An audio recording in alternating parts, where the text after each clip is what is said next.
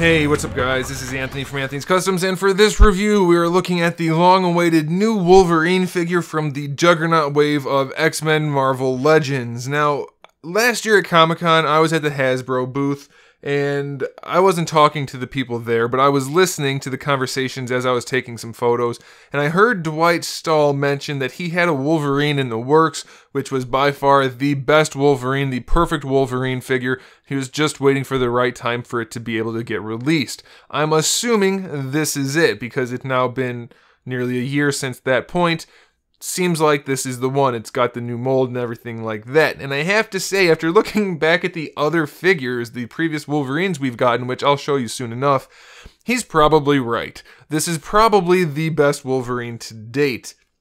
I also have to say, after looking back at the past figures, that's not saying much, because oh my goodness, these figures are I don't remember them being so bad. But let's let's just get this guy off the stand so we can take a closer look. Okay, so this guy stands roughly five and three quarter inches tall, which makes him just about 14 and three quarter centimeters, right around there. So he's definitely shorter. So things that come to mind when I see this figure.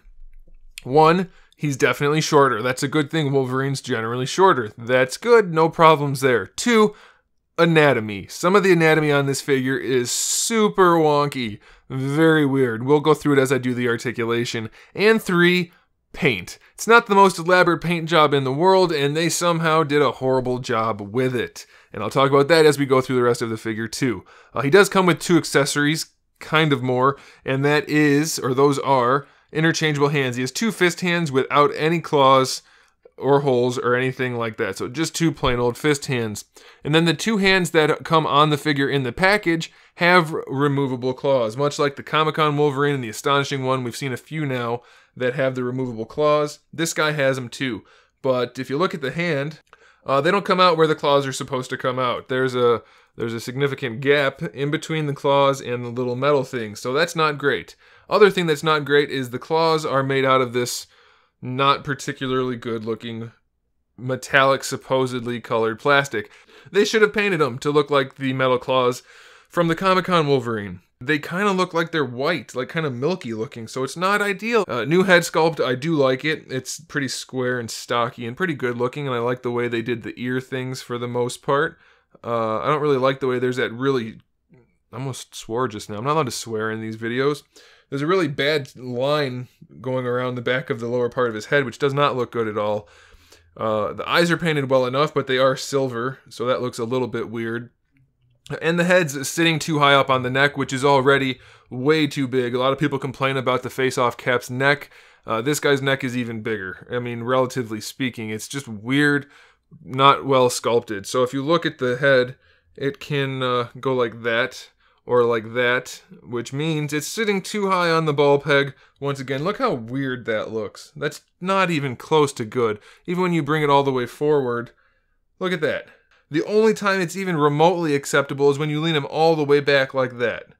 Otherwise, it's super goofy looking and it sits way too high on the neck and makes him look really weird because he's got way too much neck to everything else one good thing, though, one of the good things is the butterfly joint on this guy is phenomenal. It goes all the way forward, which still looks weird because of the neck, but at least the joint itself works, and all the way back. Now, I know it screws with the anatomy there, but you can't help that, so that's fine. The arms go back really far, even farther if you really want them to, which is probably too far, but you can do it, and it works really well, so I like that. Uh, they go almost all the way out, so that's all right. Your bicep swivels there, so that's good. The shoulder anatomy itself, the shoulder is really weird. It's kind of tiny and has this weird lump in it. And then the the bicep and the tricep area, really weird. It looks, it's really bulbous and very, very unnatural looking. Forearms are fine though, so that's good. You have your double jointed elbow, which does give you better than 90 degrees. Again, you can get get away with that ugly bicep anatomy, but it's just not good.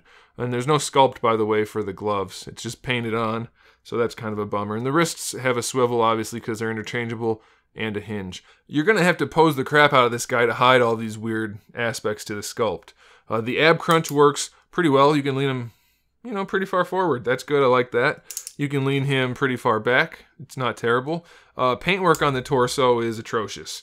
The yellow is painted rather than molded, and it's super translucent. This side is definitely a lighter shade than this side, and you can see brown coming through just about everywhere. It looks pretty bad. The belt is a floating belt, but the paint job on it's nowhere near clean, nowhere near accurate. Very poorly done. So you can lift that up, and then you do have a waist twist, though. Or you can leave it down and kind of force the waist twist. So that's okay. No big deal there. For the hips, let's see, I haven't even tried the hips really. They can come all the way forward, but they end up going out to the side just a little bit. As far as going out to the side, uh, about 45 degrees. Nothing impressive, but definitely good enough. They go back just a tiny bit. Thigh swivel works fine, no big deal. Double jointed knees, they work fine. That's that's normal. We do have a boot swivel in here, so that's pretty good. The ankle goes a little bit forward, but not very far, and then all the way back, and you get your ankle rocker. Now, the boots themselves are sculpted really well. I love the boots. Uh, the feet seem too big, though, especially considering he's a lot shorter than your average figure. His feet seem really long. And here's the thing the hinge makes the foot not square to the uh, to the ankle and to the rest of the leg.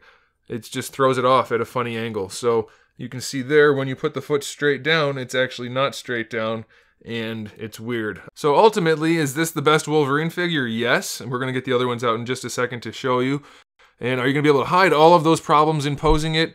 Some of them. You can't hide bad paint. You can hide weird anatomy and stuff like that sometimes, um, but you can't hide bad paint. All right, let's get out the other Wolverines and not really compare them, but just kind of show you because I want you to see how bad those old ones are. I didn't realize it. This guy definitely looks better in comparison. And like I said, he's he is the best. There's no doubt about it. Uh, but these other ones didn't give him much competition. And I'll adjust the camera once I get him out there. I still kind of like this original Toy Biz one or at least the uh, Red Hulk version of it. Uh, this one, I thought it was better than it is. It's pretty lousy, especially if you look at the face. And then one other one I wanted to include in this just because I wanted to see if the heads were interchangeable at all. I don't remember it being anywhere near this bad is the uh, Daken or Dakin because that's how I originally heard it and stuck in my head that way. So we have really, uh, for such a popular character, such a main character, we have a bunch of lousy Wolverine figures, so it's easy to see why the new one is the best one. It's not really a fair comparison because they are all so bad prior to this one. So it is easily, hands down, by far the best. So there you go, guys. Thanks for watching. Make sure you subscribe to the channel. I have new videos every single day. We talk about all kinds of fun stuff like action figures, custom figures, video games, movies, TV shows. We had to do unboxings, lots of stuff. So make sure you check back, see if there's something you want to watch. And in the meantime, keep collecting.